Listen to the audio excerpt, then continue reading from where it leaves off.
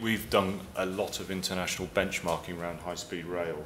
Um, and I was out myself in France looking at Tours de Bordeaux, which is a uh, high-speed rail project in France that delivered by Vinci.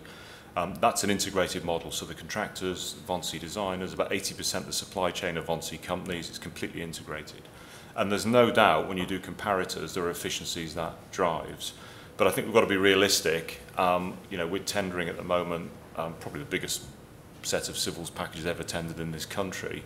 The industry isn't going to change overnight. Um, and we are going ECI, we are looking for designers and contractors to join in those bids. So from a client perspective, we're currently tendering an engineering uh, development partner at the moment, a delivery partner. That, that will be client side, but it will be ECI, two-stage, design, constru construct-based contracts.